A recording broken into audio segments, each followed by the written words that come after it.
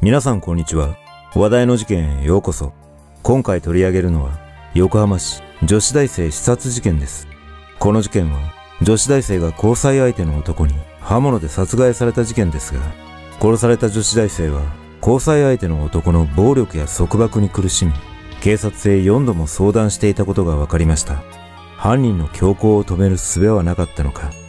まずは、事件概要から、どうぞ。事件概要。2023年6月29日午前10時15分頃、横浜市鶴見区のマンションに住む女子大学生の T さん、当時18歳が自宅マンションの駐車場で血を流して倒れている姿を母親が発見し、娘が血だらけになって倒れていると110番通報した。その後、T さんは駆けつけた救急隊によって病院に搬送されたが、約1時間後に死亡が確認され、司法解剖の結果、T さんの上半身には刃物で刺されたとみられる複数の傷が見つかり、死因は出血性ショックだと判明し、抵抗した際にできる防御層があることも確認された。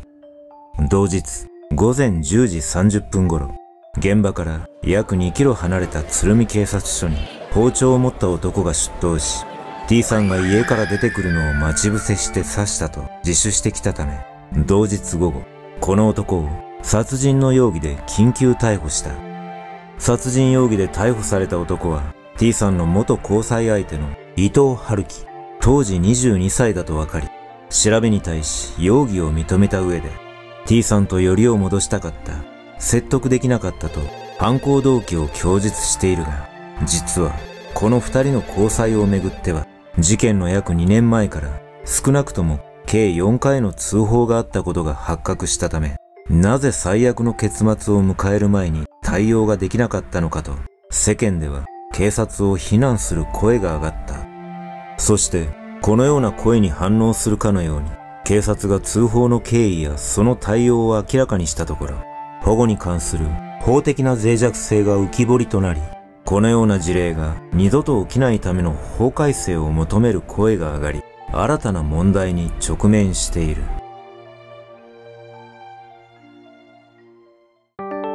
トラブルだらけの交際。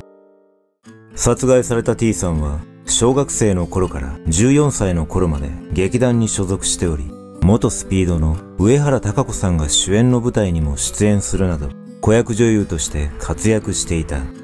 そんな T さんは、事件の約2年前に伊藤と交際を始めたとされ、出会ったきっかけについては、東京の飲食店でのアルバイトとの情報があるが、T さんは地元の焼肉店でずっとアルバイトをしていたとの情報もあり、正確な情報は明らかになっていない。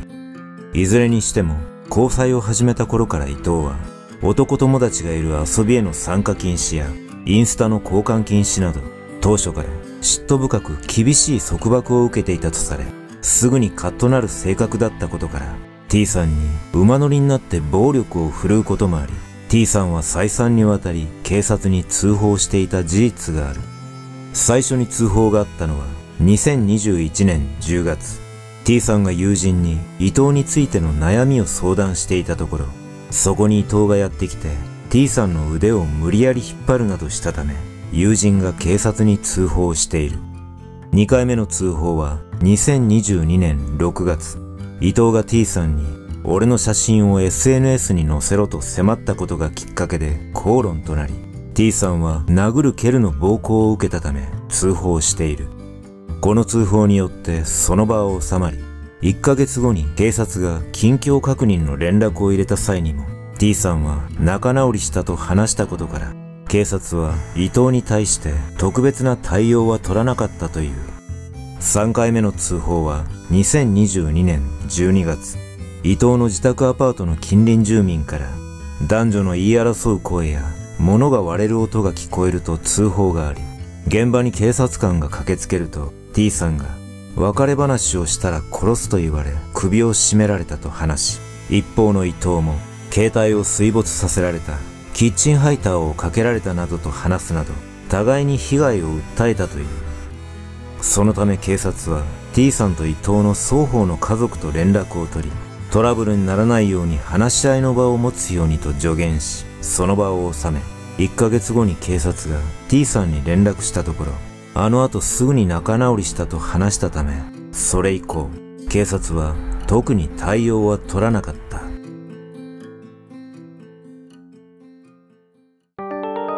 最後の通報。事件の1週間前の6月22日、殺害のきっかけとなる4回目の通報があった。この日、伊藤の車の車内で2人は口論になって揉み合いとなる騒ぎを起こし、T さんの通報で警察官が駆けつけると、T さんはこのままなら殺される。よりを戻さないと殺すと言われた。馬乗りで殴られたこともある。顔を平手で何度もビンタされた。もう嫌だ。二度と伊藤と会いたくないなどと警察に伊藤の暴行を訴えた。その後、警察は何とかその場を収めたが、T さんは持っていたリュックサックを伊藤の車の中に置いてきてしまったため、翌日、警察が伊藤から回収した。しかし、中に入っていた T さんの自宅の鍵がなくなっていたことから、警察は伊藤の同意のもと、伊藤のアパートを捜索したが、結局鍵を発見することはできなかった。警察の発表によると、このトラブルを受けて伊藤は親族と相談し、T さんとの交際について考えますという内容の書面を警察に提出したとされ、T さんの家族に対して家の鍵を交換することや、一時的に住む場所を変え、伊藤に近寄らないことなどの防犯指導を行ったという。しかし、その後も伊藤は T さんの SNS に脅迫めいた DM を何度も送りつけ、T さんがアカウントを変えても、すぐに特定して再び、俺と別れられると思っているのか、どうなっても知らないぞ、などの脅迫めいた DM を送っていた。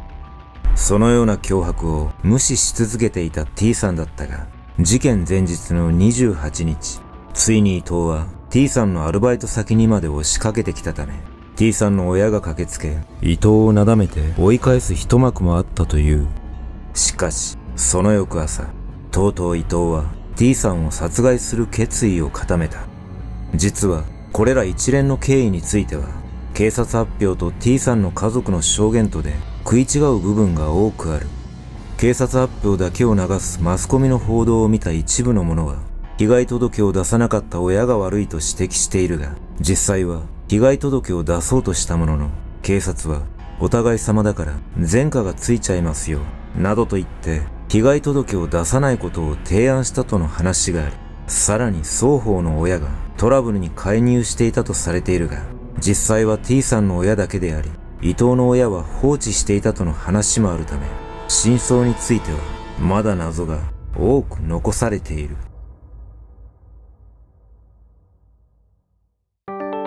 身勝手な犯行。事件当日の朝、T さんが自宅の部屋で目覚めると、いるはずのない伊藤が部屋にいたため、家族が部屋から追い出したが、伊藤はマンション内の階段付近などで T さんが出かけるのを待ち伏せしていた。その頃、T さんは友人と LINE をしており、部屋に伊藤がいたことについてやり取りしていた。今日起きたら部屋に元彼がいた。怖っ。外で話して帰ってもらったけど、頭おかしいんかってくらい怖くね？やば。記憶力死んでる。え？そんなに勝手に入れる環境なの？私の実家の鍵がなくなってて元彼が隠し持ってたの。この LINE の後 T さんは親に車で送ってもらうために自宅を出て一人でマンションの1階にある駐車場に向かい車を待っていたところ待ち伏せしていた伊藤が突然現れ持っていた包丁でめった刺しにされた T さんを殺害した伊藤は自身の車で現場から離れるとまっすぐに最寄りの鶴見警察署に向かい T さんを殺害したことを自白し T さんのリュックサックに入っていた自宅の鍵を盗んでマンションに入ったことやあらかじめ刃物を用意して犯行に及んだことを供述し動機についてはもう一度 T さんと付き合いたかったと述べるなどあまりにも身勝手な犯行だったことが明らかになった。伊藤を知る同級生らの証言によると伊藤は中学2年の初めくらいに栃木県から横浜市鶴見区に転校してきたとされ、運動神経はかなり良く、外交的で誰とでも仲良くなるタイプだったというが、高校を卒業したくらいの時期にたまたま見かけた際には、黒服の格好をして夜の店のキャッチをしていたため、随分と変わった印象を受けたという。また、中学時代の親友だった男性によると、伊藤は女性を好きになると思い詰める傾向があり、中学時代に付き合っていた女性に振られた時も、自ら命を絶つだの、もう死ぬだのと言っていたとされ、昔からよく言えば一途だったが、少し危ない傾向も見せていたという。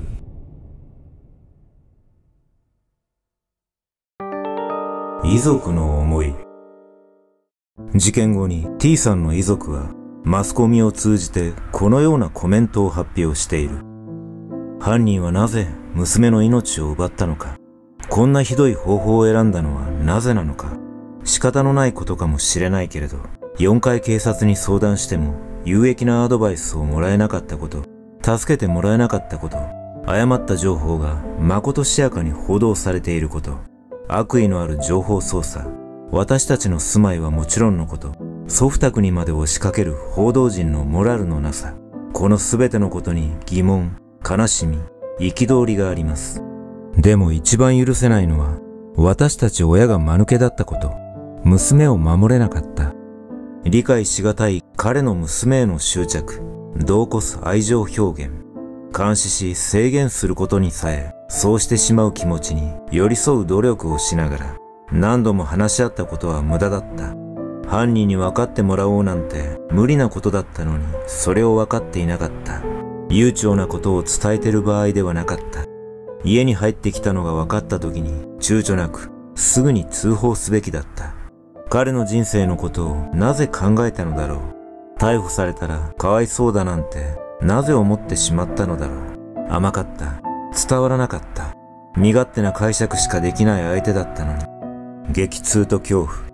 娘がこの先得られたであろう幸せを一瞬にして奪われた。無念でしかない。これが夢だったら、時間が戻せたら、引っ越していたら、ボディーガードをつけていたら、危険な状況なことをもっとしっかりと理解していたら、一時も目を離してはいけなかった。私たちの認識の甘さ、すぐに通報していたら、こんなことになっていなかったのだろうか。後悔ばかり押し寄せてきます。あの子がくすっと照れた笑顔で、ママって呼ぶことはもう二度とない。気持ちの整理がつかず、悲しみに暮れています。好奇心を満たすための憶測や誤った情報で、娘をこれ以上傷つけないでください。どうかそっとしておいてください。お願いします。との悲痛な思いが詰まったコメントが発表された。